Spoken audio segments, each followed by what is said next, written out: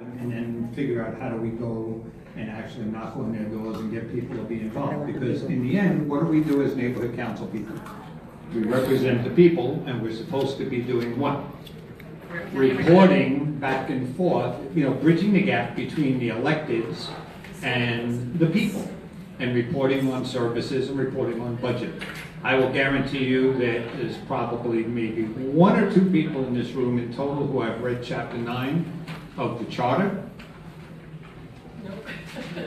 One, well, I said there'd be one or two. So, So chapter nine of the charter tells you exactly what neighborhood councils are supposed to be doing. And we really only have four charges, okay? And the two most important are civic engagement and reporting on services back and forth. And the third, of course, is budget. We, you know, guiding the electeds, that's an oxymoron. Gui- Guiding the electeds on how we should be spending our money and what services we need in our community that we're not getting. And that's what budget advocates do, and that's a whole different title that I hold as chair of budget advocates. So what I'd like to do now is ask uh, two of our presenters to identify themselves, where they come from, what they do, and then we're going to start the program. Good afternoon, everybody. Well, good morning, actually. My name is Milagros Lizárraga. I am a co-founder and former president of Peru Village Los Angeles. This is an initiative that was presented to the city of LA in 2012 that uh, likewise Thai Town, Little Armenia, Koreatown for the city of Los Angeles to include the Peruvian culture in uh, its map. Uh, that's how we found out that neighborhood councils exist, and I'm going to talk a little bit about that later. Then um, I became uh, the chair of Central Hollywood Neighborhood Council. I am the former chair of Central Hollywood Neighborhood Council and the former president of Village Los Angeles, and actually I'm serving the committee, the outreach committee of Central Hollywood Neighborhood Council, CHNC, and I'm going to speak as a, on a personal basis, only representing myself in this. Hi, good morning. My name is Luz Castillo, working with the U.S. Census Bureau. I actually worked as um, uh, the outreach and education coordinator for our Census 2000 and Census 2010 outreach programs. Um, now I'm working in the capacity of data dissemination specialist for the data dissemination branch. And essentially, we're here as a resource for you. We do workshops, trainings, presentations on the data that is available. So we're trying to bridge the gap in terms of the data that is available available with the community for you to use. So today I want to talk about you know what is available uh, for you to use to better understand those communities that you're serving. Okay, so I'm going to start with West LA, which is what I can talk personally about. So for oh, almost 11 years, I chaired the West LA Neighborhood Council, and currently I am the treasurer. We spend 100% of our money on outreach and admin. We spend about eight grand on admin, and all the rest of our money is spent on outreach. Because again, we firmly believe that we need to be able to touch people, and we don't represent us, we represent us. So here's what happened in West LA. Many years ago, when, when I took chair in 2007, those days you could roll over money. And I inherited $151,000, which shows you why everybody on the board had just gotten voted out. Because at $50,000 a year, there were at least three years' worth of doing absolutely zippo. And then that was in February, and then in July, we got, guess what? Another $50,000. So I had $200,000. So my neighborhood council got together and said, here's what we're gonna do. We asked the mayor for an office. We got a free office in the West LA Municipal Building. And we got a hearing room. It was an old judge's chamber and a courtroom that were next to each other. We fully outfitted it. We opened up office hours. We published every Sunday, one of us from the board would be in the office. Anyone who wanted to come by and tell us their issues, complain, compliment, tell us what we're doing wrong, tell us what we're doing right, tell us what they need in their community. We were there for them, and we still do that to this day. But what we did was, after outfitting the office, we started doing outreach. And one of the things we did, how many of your neighborhood councils do movies in the park? Okay? So we bought the equipment, as opposed to giving fifteen hundred bucks at a time for some company to come in and set it up and do their thing, or whatever. We bought the equipment, we own it. So typically it costs us about four hundred dollars a show, and that includes giving food away to three hundred kids. Popcorn, juice boxes, things like that, because we own the equipment. But what happened was, we got the equipment in August of that year. So we decided we'd do one movie as a test, just to see what happens. So we went to Stoner Park in our district, and we partnered with the park, and we publicized that we were gonna do a movie, a movie night. So of course, my neighborhood council, really thinking bright, goes out and buys these giant bags of popcorn and little baggies. Can you imagine the nightmare? Well, as we're sitting there looking at over 400 people in the park on blankets, and trust me, we did not anticipate 400 people coming out to this thing, two things became evident. One, we were screwed. There was no way we were going to be able to bag that popcorn, not the four of us. And two, 90% of the people sitting out there on blankets were from the Oaxacan community. West LA, the Oaxacan community. What's the rap on West LA? The rich, white West Side. Not true, not my district. So it turns out that I've got a huge Oaxacan community living in my district. The people right away saw just how much trouble we were in. And in typical fashion, they bundled their kids on the blankets and assigned parents to watch bundles of kids, and they came up to volunteer. And we got everything done with all these volunteers. Let's fast forward. A year and a half later, Geronimo Garcia gets appointed to our board. He's the person who represented the Oaxacan community, a group in the community. Fast forward now, every year we do huge Oaxacan festivals that bring out four to five thousand people each year to Stoner Park for a huge Oaxacan festival. All this happened by pure dumb error. But what happened was, we, what did we do? What's, what's the, the important piece to what I'm telling you here? We spent our money to outreach into the community for something that people would enjoy. And they came. Not only did they come, but once they came, what did we do? We embraced them. You know, we took those volunteers. We got their names. We got them involved. And we got them on our board. Because they should be on our board. They should be representing the people in the community. You know, our board, every board should be representative of the people in their community. Doesn't matter.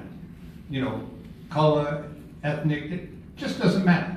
Whatever your breakdown is, and we have someone here today who's going to tell you how to find out what your breakdown is. But it's all about taking your money and getting out in a really good way. But once you get them, you got to pull them in. You know, it can't be, I don't want them on my board. I don't want that. I don't, we don't get to pick and choose. I don't want. We represent everybody in our community. And that's one of the fallacies of neighborhood councils. Many, many boards do what? They become very insular. It's my board, it's my council. I make the decisions. I'm the board member. It's the wrong attitude. So if we're willing to go out and we're willing to embrace and we're willing to fight hard to get them in, then we got to keep people in. But it's all about how you go out and outreach to your community. And it's how many languages you put it out in, what media you put it out in, you know, and how you and how you really entice people to come in. And enticing people to come in means you don't say no to everything they want. You really have to engage them. And that's the fourth part in chapter nine of the charter, engagement. We're supposed to be engaging, not turning people away, not saying it's not for you. This is our council. And you'd be surprised with ninety-seven neighborhood councils, how many councils, it's their council. It's their way or no way. This is what we want, not what the community wants. So that's how you get people involved. That's how we did it in Dunlop. Yes? Curious about this Oaxaca Festival, are you guys the only sponsor of that event, or do you give non- neighborhood purposes grant to make that happen through? So we give no money. We give no money. Uh, we, we give our money, we don't give money away. We don't do neighborhood purpose grants in my neighborhood council. We don't give to schools, we don't give to churches, we don't give to synagogues, we don't give to temples, we don't give to nonprofits. We don't believe that's our job. We believe our job is to help get people involved in our community. So there are other sponsors, including Councilman Bonin's office, who help sponsor it okay? Um, but we don't, we don't give NPGs, we don't give community grants, we don't do any of that. Ours is strictly outreach, Uh, we do events, we, we'll co-sponsor events, I think next weekend we have a senior event that we're doing, a senior wellness event, and we put in money for the senior wellness event, us and Councilman Bonham. We partner a lot with the city council office. I've always believed, because they have their slush funds, you know, they have their discretionary funds, I call them slush funds, you know? And what I always do is I challenge my councilmen all the time. I'll put up five grand if you'll put up five grand. Let's make this happen, let's make this a great event. Can you do a event form for that? Okay, I'm gonna have to talk to you later, because the Department of Neighborhood Empowerment has basically stopped the Atwater Village Neighborhood Council from having any events anymore, oh, because it's become impossible. So as treasurer, myself, and, and I'll just make it quick, because I, I really want to get to everybody. Uh, as treasurer, I've set up a format with everybody on my board, and I have a straight rule. If it's an NPG or an event or whatever, these are the forms based on the type of thing you want to pitch. Do not bring it to me unless every form is in place, signed, and every document I need is there. If you bring it to me and it's not a complete package, I reject it, and I send it back and it doesn't even go to the board. It's not my job to chase it, it's their job to make sure the forms are all there, okay? But it is my job to advise them what forms they need. And I do that, and it's even up on our website. These are the various packages for the various requests. So, and events, events are great, we do a lot of events, okay? And I'm happy to talk to you. So who's gonna be next? Luz? Okay, let me move this up.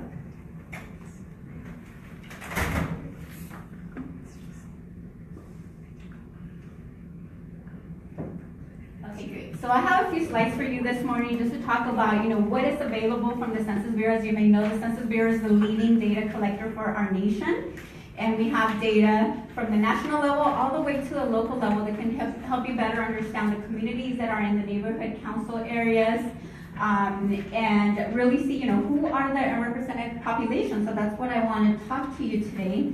Um, you know, the Census Bureau does the census every 10 years. The most current one uh, was the 2010 census, and we're gearing up for the 2020 census. So that census gives us data about our population and about the housing of our nation. Uh, but we also collect a lot of other data about uh, the economy. So we do an economic census every five years, and that data can also let you know about what's the business makeup in different communities by industry. Um, one of the great benefits of census data is that the data is available for small areas. So if you want data at the county level, at the city, at the zip code level, we have a census tract level, which I'm going to talk to you in a little bit about, which is pretty much the neighborhood level. Um, but you can even go even smaller. You can even go down to a block. And I'll talk about that in a few. But when you're looking about at data at those small levels of geography and you're comparing them, um, they can help you identify pockets of need in your community. Um, and as Jay mentioned earlier, if you have limited resources and you want to find out where do you do your outreach, where will it be the most effective, um, you can look at that data to help drive those efforts.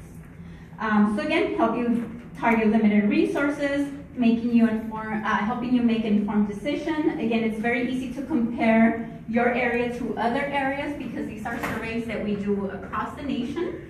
And so, and all the data is available no matter where you live in the US. Um, and then you can also track population change over time because these surveys are collected on an ongoing basis, either every 10 years or we have another one that we do every year. Okay, so I'll give you more information on that. But as I mentioned earlier, with regards to census data, you can get data all the way from the national level, all the way to a block level. So in an urban area, we're talking about a city block. You can't get data about individuals, but you can get statistics about the people that live in that geography.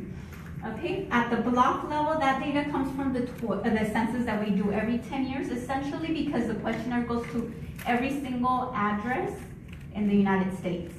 Um, and we have a large percentage of the population that participates, so we have a lot of data, so we can give you data at very small levels of geography that can be very useful to you. So with the 2010 census, so how many of you remember answering that questionnaire? So just remember 2020 census is coming up. Um, very important that you participate, but it gives us very basic data about our communities. It gives us what the total population is from the national level, again, all the way to a census block, how many people live there. And then you can get breakdown by what is their sex, their age, their ethnicity, which when you're talking about census data, we're talking about whether they're Hispanic or Latino. And then race, relationship with people within the household. How are people related to each other? Who's the head of household? How many are spouses, children, relatives, and so forth? How are people related to each other? And then we have some basic housing data, whether people rent or own, and whether the housing unit is occupied or vacant. Okay, so this questionnaire, uh, because it goes to every single, um, because it goes to every single housing unit in the nation, it's going to give us the most detailed data by race and ethnicity. So this is one way of finding out who lives in your community. So first, this is um, the data that we collect on Hispanic or Latino. It's from the 2010 census, and this is from the city of LA. So this is just an example at the city of LA level, but we can get this down at your neighborhood level. Uh, so for instance, you can see uh, for the um, city of LA what the Hispanic or Latino population was in 2010, 1.8 million, and you can do see the breakdown for the major groups, uh, what their population is. Um, then you can see for those that are from Central America. So what the total was, uh, 415,913, and then you can see the breakdown by country of origin. Then you have South American, just under 50,000, and then you can see the breakdown by uh, individual countries, and then other, which includes um, Spanish. Um, so again, this is data on Hispanic or Latino that is available um, for even smaller geography zip codes and census tracts, which allow you to look at the neighborhood level. Oops, going the wrong way. Um, this is again, also from the 2010 census, now looking at the Asian population. You can see here for the city of LA, um, the breakdown by different groups. So actually, the largest group is Filipino. For the city of LA at 122,787, followed by Korean at 108,000, followed by Chinese 61,950, and then you can see all the others. Um, and then you get data by whether they selected only one race category or one or more races. Again, so very detailed data. So this is for Asian. Uh, this one is for American Indian and Alaska Native. So this is just a screenshot because there's a long, this was the longest table, so I wasn't able to fit it all in one screen and I knew you wouldn't be able to see it. Um, but it gives you um, data for all the American Indian tribes. But notice, actually, we also have Central American Indian and Mexican American Indian. Actually, I didn't get it there, and then it didn't fit on the screen, but we have South American Indian. So we're talking about the indigenous populations like the Oaxacan community. You wouldn't find it in the Hispanic or Latino section, um, but you would find it here under American Indian and Alaska Natives under Mexican, again, Mexican American Indian, Central American, or South American, and we even have tables where you can get lists of all the different groups, such as Oaxacan, um, and all the other communities. Um, and then this is just an example for Native Hawaiian and other Pacific Islanders. So I know it cuts off on the side, uh, but then you can see in this one, the Samoan population is the largest at 1,504. So that was for, um, again, for the 2010 census. Can I ask you a question? Yes. Uh, Does that include second generations? Like for instance, uh, I am Peruvian, first generation. My kids are Peruvian American. Their father is uh, from here, California. Do they count? Uh, It all depends how you answer the questionnaire. So everything is based on self-identification. So whenever you get a census questionnaire, you have first a question on whether you're Hispanic or Latino or not. And if you answered yes to that, then they would be considered under Hispanic or Latino. Then it asks you to name, to be more specific, Mexican, Mex- uh, Mexican, Puerto Rican, Cuban, or other. So if they wrote in Peruvian, then that's where it would be captured. So it doesn't matter what generation it is, it's not asking you that, it's asking for self-identification. How do you identify? Do, I, do you identify, identify as Hispanic or Latino or not? So that's where that would get captured. Good question. Um, same for the race question, however you identify under the race question, that's how um, you would be tabulated. Um, so now that is, um, again, the 2010 census or the decennial census is the best source of data for the detailed race and ethnicity data. Now, let's say that you want data by other characteristics. You want to know where are the families with children, where are the seniors, where, um, um, which parts of our community have higher levels of education, which ones have lower. Again, all that economic, socioeconomic data. That comes from a survey called the American Community Survey. Um, from 1940 to 2000, every time that we did a census, we used to have two questionnaires, the short form and the long form.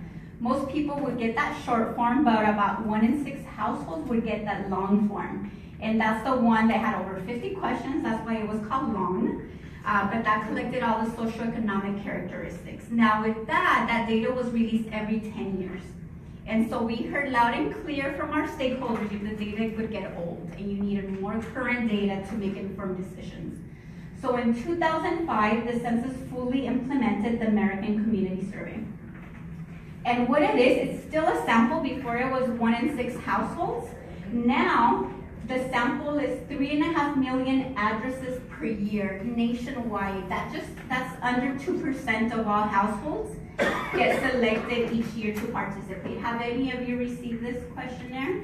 And you would know because it's fairly long, so thank you if you filled it out. Because again, it doesn't go to everybody, so if you fill it out, you're representing the community around you and you're making sure that we have data for when you're writing grants, for when you're doing community analysis, uh, for us to better understand the communities. Um, and again, it does give us data also at the local level. So um, again, this is a long questionnaire. It, it collects demographic, social, housing, and economic characteristics. It's over 35 topics of data that you can um, get. So as you can see, you can get some demographic data similar as the 2010 census data. So everything that is red is collected during the decennial census. It's also collected here.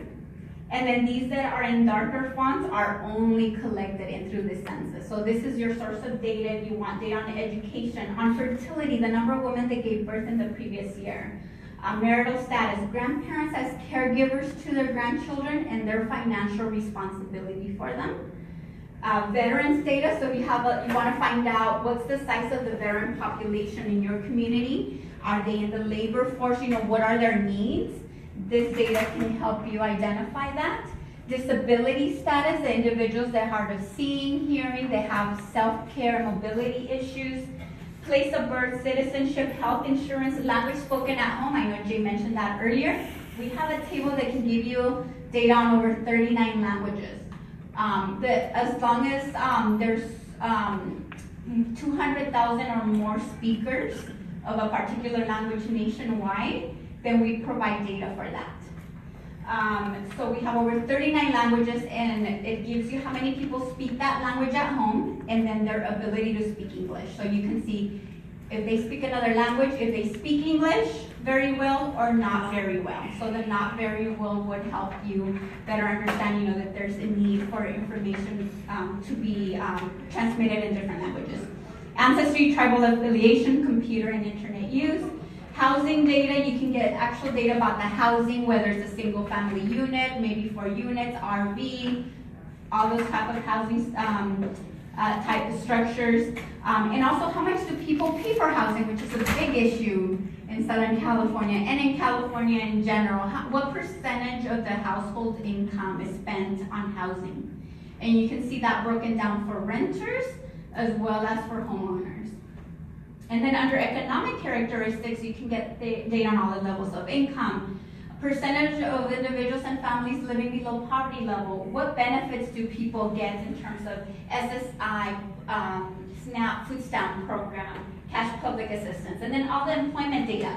Who's in the labor force? What industry? What occupation? How do they get to work?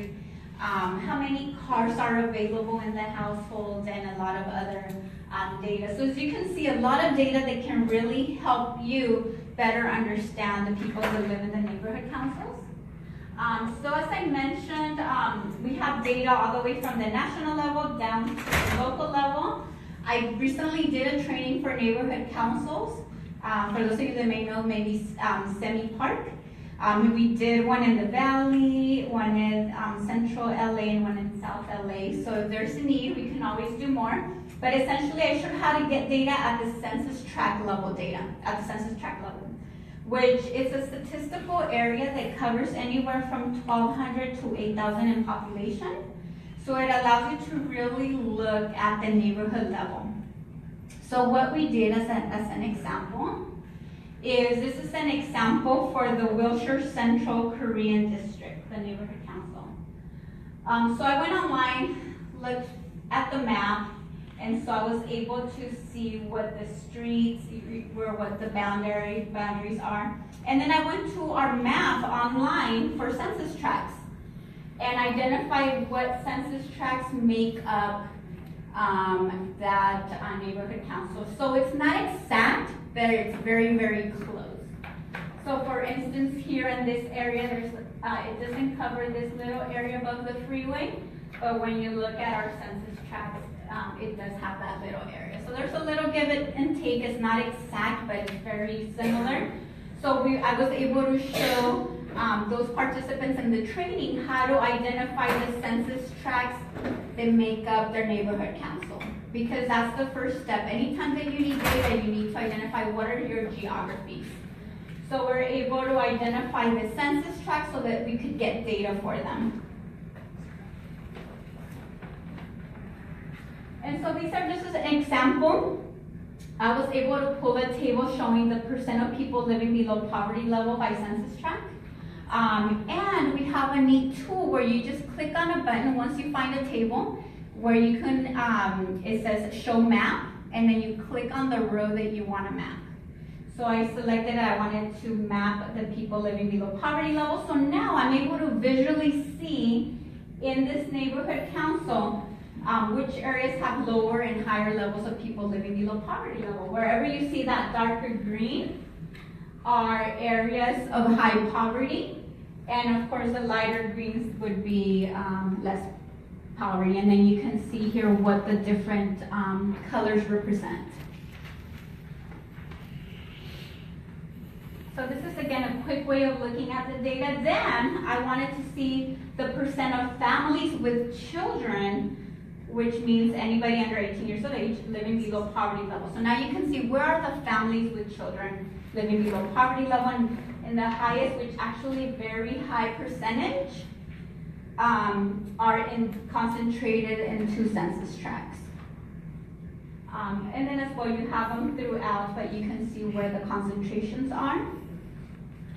And I believe the next one is for seniors.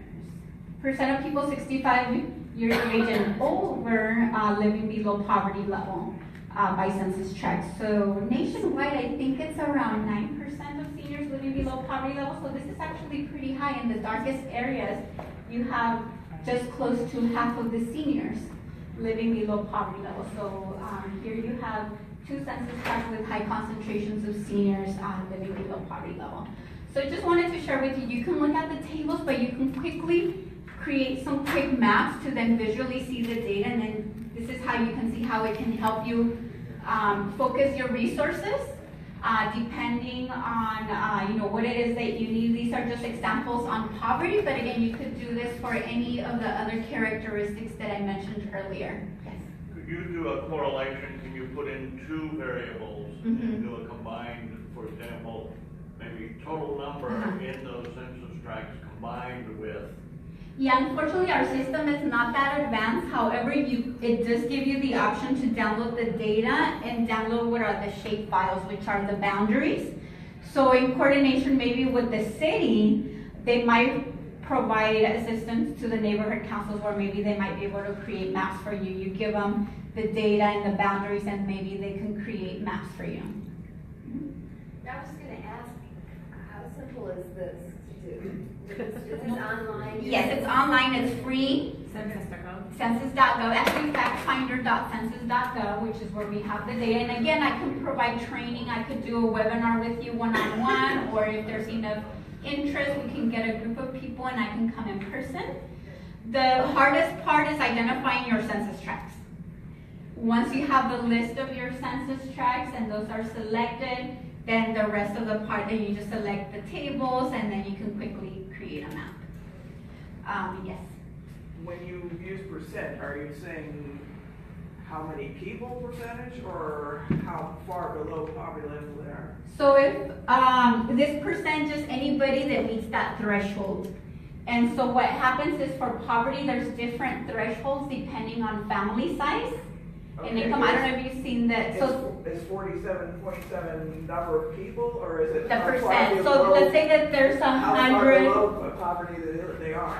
so percentage of people. So let's say that there's a hundred people over the age of sixty-five living in your community.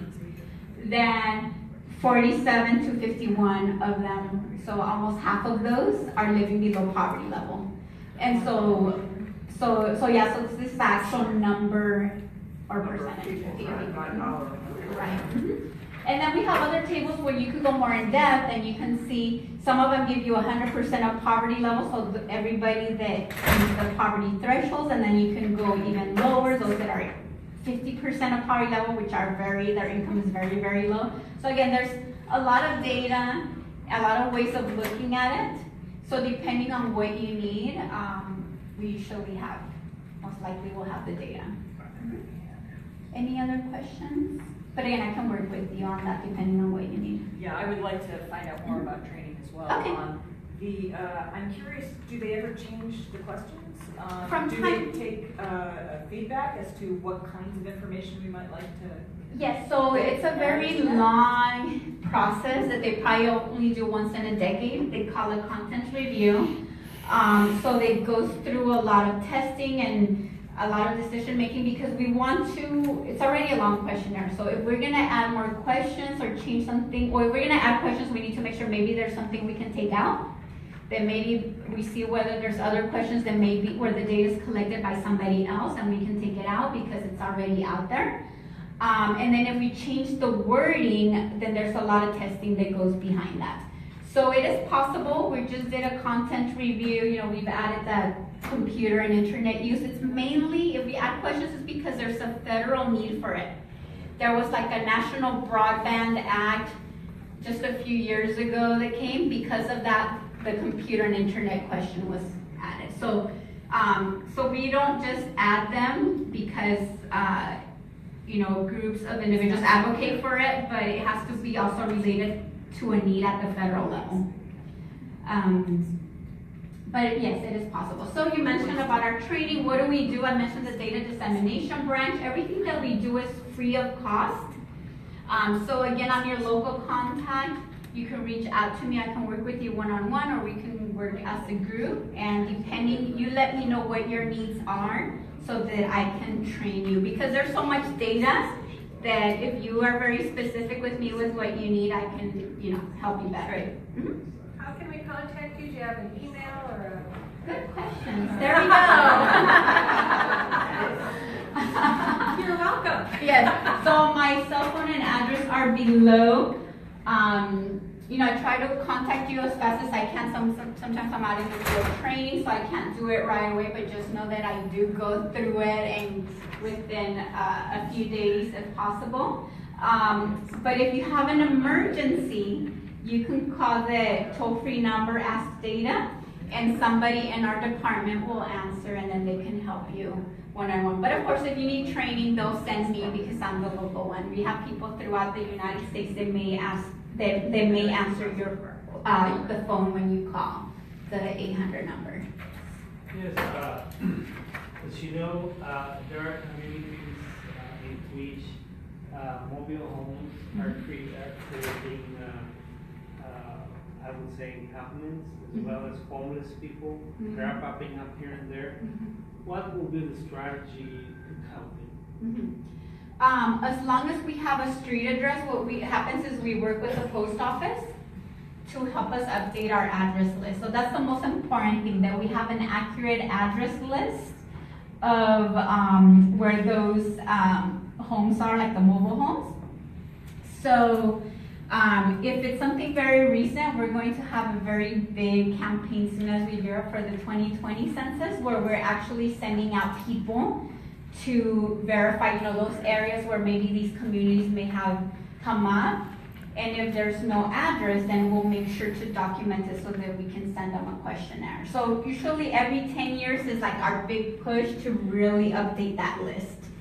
Um, other than that, we're depending on local governments to provide that, that information to us, local governments and the post office, which again may or may not happen. So the main thing is, if we have that list or those addresses, then we can get a questionnaire if they get surveyed.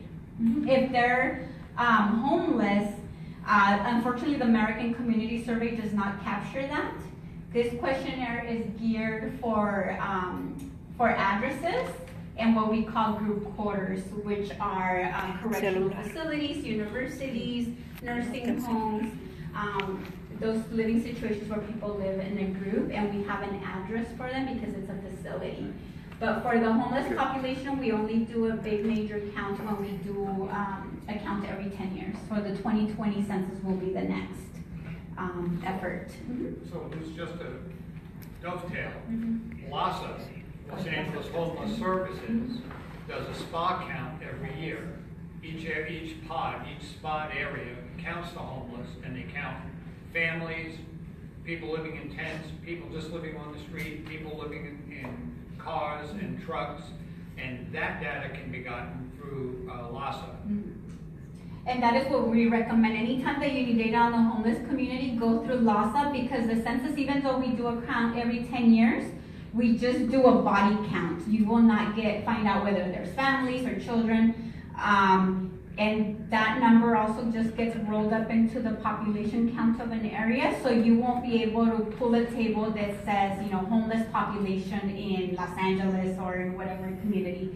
That table does not exist. This is just, this is, census does not release data on the homeless population. We just count them and include them in the general population, in the general count. So over here, and then I'll come to you. I'm gonna follow up with that. LAHSA only does the spa count where we all go out in January, we count all the encampments and RVs and everything. But later in the winter, about uh, March, we also go out and we do demographic studies, which means we'll go out and we'll interview about fifteen percent of all the homeless folks. You know, people are willing to be interviewed. And we'll take down all sorts of demographics that people are willing to give us, like, are you a veteran? How long have you been homeless? Where were you before you became homeless in Los Angeles? And all sorts of other questions. So we do get a very um, detailed report on the homeless in Los Angeles County by doing those demographic studies. And you can also get that information from LAHSA. Yeah, I was just wondering, what's, how can we figure out the margin of error? Yes, so the data is, the margin of error is provided there. So whenever you pull the table, each set of data will have its own uh, margin of error. So the question, and- Yeah, one of the things that I've just noticed is that right now the city of LA is going through its fair housing review. And they've pulled a lot of wonderful data from, um, the, uh, census and from the, uh, CAS. So, I mean, really incredible data, really valuable. as we start to think about all the things in our neighboring councils that need to be thought about in terms of fair housing and housing rights. Would you elaborate on shared housing? What? You You said sh- shared housing? fair housing, from the Fair Housing, it's a review of the Fair Housing Act. Okay. So if you go to the, um, uh, CID, uh, Housing and Community Development, uh, HCID page, it's got a whole thing on fair housing. Okay, great. Well, thank you so much, and feel free to reach out to me. Thank you. And again, things like this, when we talk about reaching out to your people, how many people do senior fairs? How many people do senior fraud? How many people do senior wellness? How many people have students and have, a- and have a student council within your council to address the kids in, in the schools, in the high schools and middle schools? You know, the- these are all the types of data that are gonna let you really go out and touch your, your population, not just skim it off the top and take what you really just make easy to get to. And now, straight from Central Hollywood. Again, Milagros Lizárraga, um, former president of Peru Village Los Angeles and former chair of CHNC. Uh, I'm going to tell you about my experience. And to me, this is amazing, uh, having that data now available in such an easy way. When we presented our initiative in, back in 2012, we had to go to the census, it was the 2010 census, the, uh, the latest one, and to prepare all the information. And we encounter more or less what Jay was describing of um, the situations that can arise at neighborhood councils. First of all, we did not know that neighborhood councils exist. How many of you here are directors of a neighborhood council? Can you raise your hands, please? Two, three, four, five. Serving a committee? Great, more, and just stakeholders? Great. So, the first thing was, um, we presented different, in different neighborhood councils, and we felt like, um, they were asking us, well, why didn't you come first before presenting your application? And the answer was, we didn't know that you existed. How can we go there? So um, then uh, we decided to get involved, and we got involved in Central Hollywood. And what we felt is that um, it's so difficult sometimes when not only getting the community, not only getting engagement from the community, but also maintaining it. That's the most difficult part. I'm talking as an experience, experience, my experience as a chair, and my experience from the other side as a stakeholder. As a stakeholder, I felt like, okay, only people who live here, and census is great, but hello, neighborhood councils, if you read your bylaws, it's people who live, who work, who study, who have an interest, who own property. So everybody is a stakeholder, since the homeless, from the homeless to the developer, from the person who goes and works there and study there or belongs to an organization to the person who lives there or have a property. So those distinctions, uh, to begin with, damage a little bit um, the perception of the public when you feel that neighborhood council um, members just feel that or, or bring that to the table. So to get people engaged and to maintain people, it is really important. One thing that happened to us uh, when we presented to another neighborhood council, uh, the initiative of Peru Village, uh, we really were so new in this. We, our community, the Peruvian community, which is a large community, as um, I'm sorry, your name again? Luz has just said, uh, Latina community is, is really large in LA. And if you realize we have only one designated Latino neighborhood, which is uh, El Corredor Salvadoreño, the Salvador Corridor. We have Filipino town, Thai town, Chinatown, Korea town, little Armenia, little Bangladesh, and, and great for them, but if we get organized and we present it, uh, we feel that uh, everybody should be included and everybody should be welcome. Um, we did not have that feeling when we presented neighborhood councils. We had the feeling that Jay just said, this is us, we're representing our view. We don't care. In two days, we gathered almost 900 signatures from people living in the area or having a business in the area that we were proposing.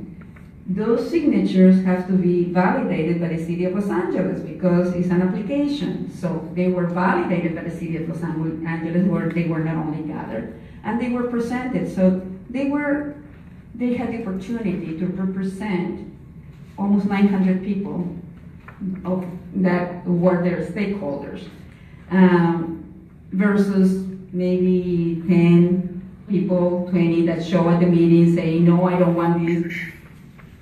And uh, the option was to choose for the no, I don't want this.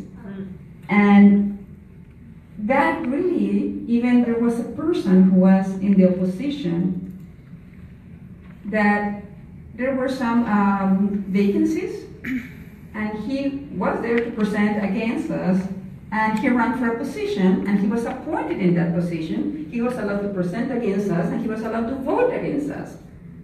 We did not know that that was okay because we were not involved in neighborhood council, but it didn't seem right. Um, five uh, positions were open at Central Hollywood, and this did not happen at Central Hollywood, happened at another one. But uh, five positions were open, and they said, well, they want us to get involved, let's get involved. There were nine um, board members, and we were not. Five of us were not.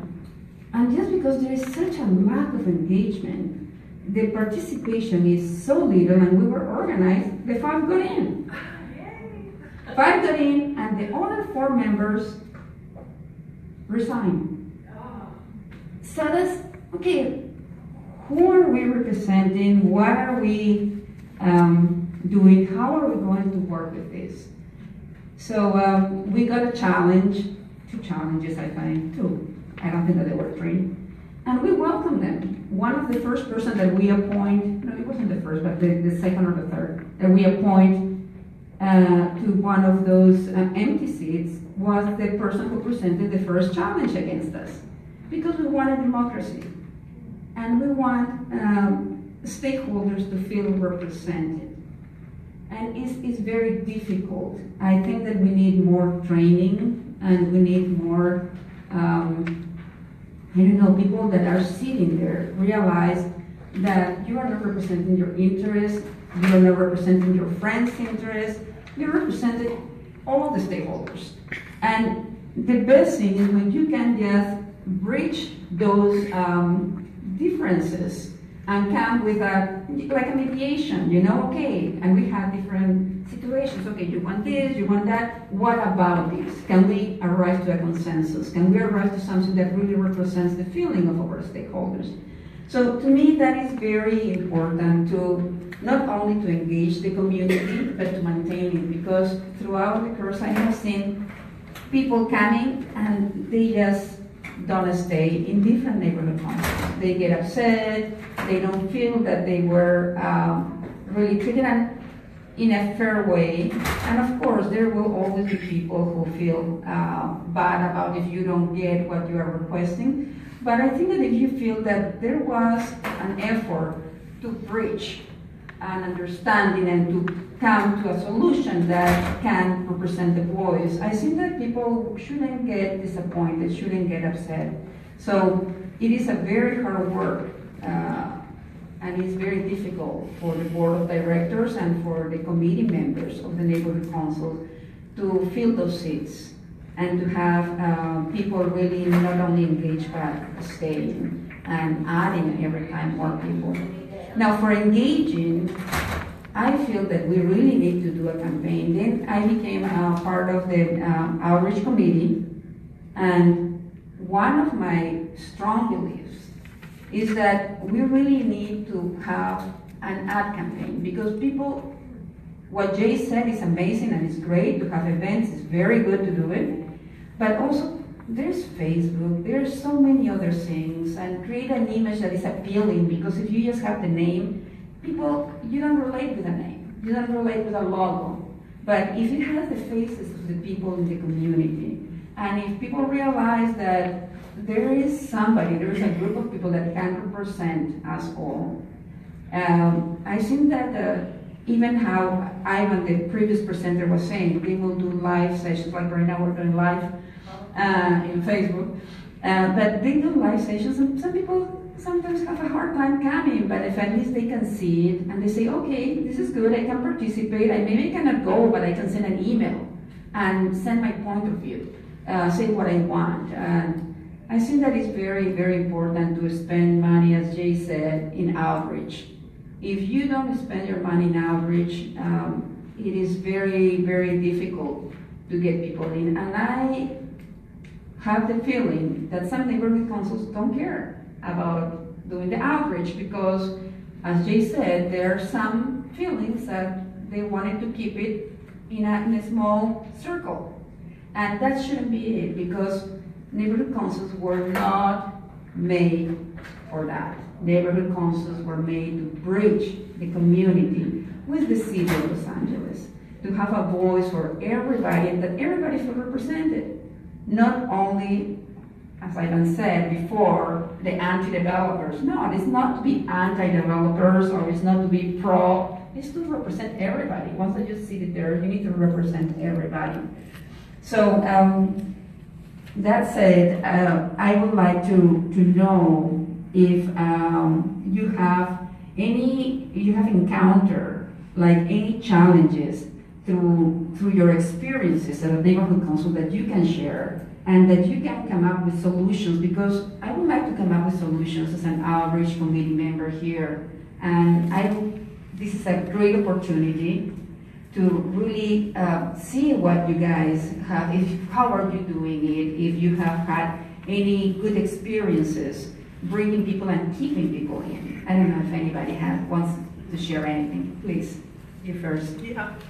Um, I too started on um, the outreach committee for my neighborhood council and it was like uh, putting nails under the other board members' fingertips to suggest that we um, send postcards to every constituent, to every stakeholder.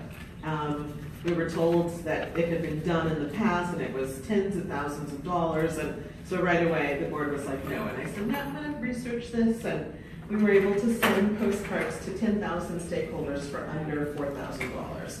So it was reasonable, and from that we, we realized, well, this one postcard that you know may never happen again is you know can't be so cluttered, but we needed to get it, the information out. So it just was the first purpose was just outreach, just to invite people in. And so then we realized that people were responding to the postcards, but we didn't really have a system set up to welcome people.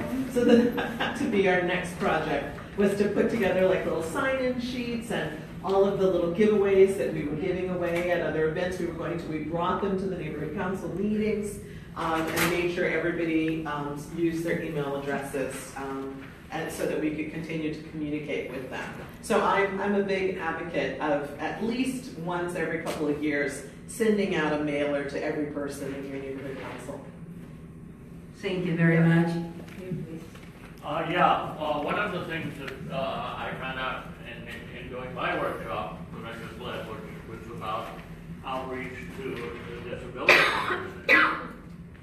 Twenty percent of LA is self-identified as having some kind of disability, according to the census data, twenty-one percent. And to be aware of that and to know that most of our neighborhood council meetings, even though they're supposed to be, are not accessible all the time, fully accessible. And how to reach out to that group of people, there are a lot of ways. And one of the ways we're doing is we're starting to reach out to, and this is in Echo Park, we reached out to the uh, Lotus Festival and the Echo Park Rising, and to ask them to be aware of it. They, uh, this meeting right here did not have an accessibility button on the front page of their webpage. And uh, Mike talking about it said, did it. You've got to be awareness, you've got to raise awareness, and then again, getting the people, I love the idea of doing something visual uh, to bring people in, maybe doing live um, sessions and things like that would be a great idea.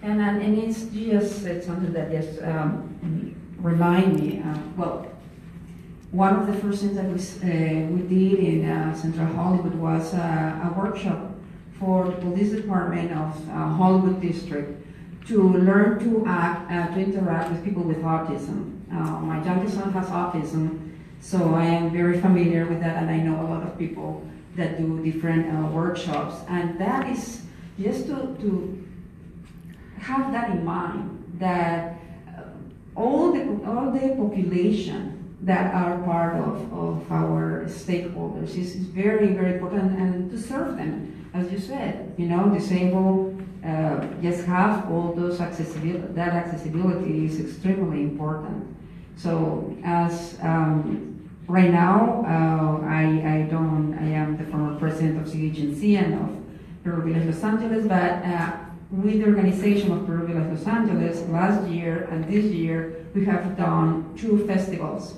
uh, Peru Village Festival, A Taste of Peru, and in a park that is within the boundaries of Central Hollywood. Both years we have brought like about uh, 5,000 people.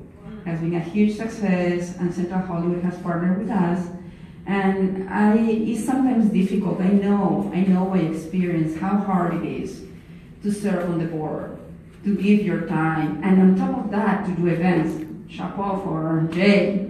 Um, it's difficult sometimes, and if you don't have a large board, it is also difficult. But uh, to partner with other organizations or entities to do events, it, is, it can really um, help the community bring it to life and to feel everybody that, uh, to make everybody feel that is included. As I said in my description, uh, to me, uh, Los Angeles and the US is not a melting pot. We are like a kaleidoscope that every piece brings something nice and beautiful, and we're reshaping our community, our neighborhood, our world every time, every day, every minute. And the world is reshaping us too.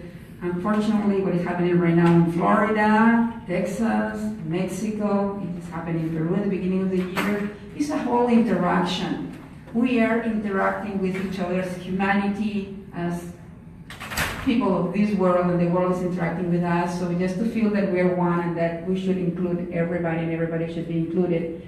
If people feel that when they put the first foot in your meetings, they will stay. If they feel included, they will stay. Please. Oh, just one example. Um, Porter Ranch Neighborhood Council, we did a, uh, First Earth Day.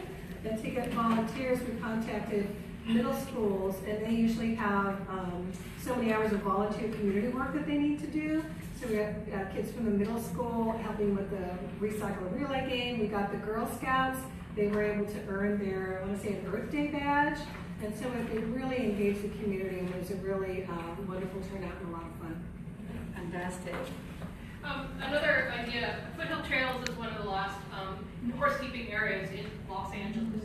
Um, so we have a very unique culture. One of the things that we want to try and do, we're getting ready to um, start this, is create an activity book for all of the children in the elementary schools. Um, things like talking about horse keeping, talking about our flora, talking about our fauna, trying to get who we are, not only just into the adults' family lives, but also into the children, start them in elementary school and then go, go all the way up to bring them in from the very beginning. I just wanted to point out, I've got a lot of packets left. We only have about five people at the outreach to disability, so if anybody wants packets. for- Perfect. for- And, and the last thing uh, that I was going to mention is that I think that the bylaws are very important. And if, it, for instance, Central Hollywood Neighborhood Council bylaws has uh, nine stakeholders, I mean nine board members at large. They're all at large versus other ones that this says like two residents, two business owners, two property owners, two organization representatives, two students. Um, I think that that helps to bring uh, more variety and more representation. Uh, but thank you very much for listening. Thank you very much for coming. And thank you very much for serving, serving our people. Thank you. So a couple other things, you know, when we talk about diversity, I told you about the Oaxacan festival that we do. Well, we also do the Ruse Festival with 3,000 in the Persian community. And that's, we do that in cooperation with the Persian community. Uh, And skateboarders, My district had a ton of skateboarders because where our office is in the municipal building is where Tony Hawk and all the big guys cut their teeth over the last 40 years. We helped reopen that area and build a million and a half dollar skate park at Stoner Park that serves over 300 kids a day. That's 300 kids that are off the street, 300 kids that are not skating down railings on people's buildings, okay? 300 kids that are not skating in the street, weaving around cars. So this is what a good neighborhood council can do. But you gotta use your money and you gotta use your power. Do we have power? Hell yeah! The power we have is the power we took, because they don't give us any power. Okay, all they do is tell us, no. You can't do that. No, you can't do that. No, you can't do that. So, and you know, Milagros brought up a really good point. And it's not part of this, but it really is part of this, and that is your bylaws. Most people, most neighborhood councils use bylaws as a weapon to keep people out, not to engage people and get them in. So take a good hard look at your bylaws. You know, every time you have one gadfly in your community that you don't like, there seems to be a bylaw change because they find out that he is engaged in this or that or that, so now that's excluded and you can't bring that in. That's not what we're about. So if you really want to get out in the community, you really want to do what they did in central Hollywood, and I, I'm sorry I was outside, but you told the story of how you brought in a whole of people, okay? That's, that's the way to do it. If you don't like what's going on out there, and this goes from the feds all the way down, everybody has term limits. It's called election day. If you don't like them, kick them out. And that goes right down to your board level.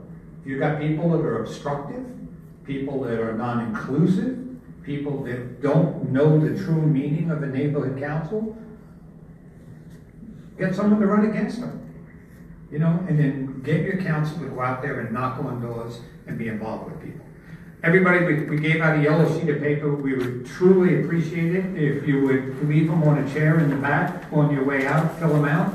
The Congress Committee would love to know exactly what a terrible job we did, so they won't invite us back next year and I get to sleep late on a Saturday. But how about a big round of applause for our presenters? Take them up on it. Take them up on anything they offer, because it's only gonna benefit you guys and your, and your community. Thank you all very much for coming.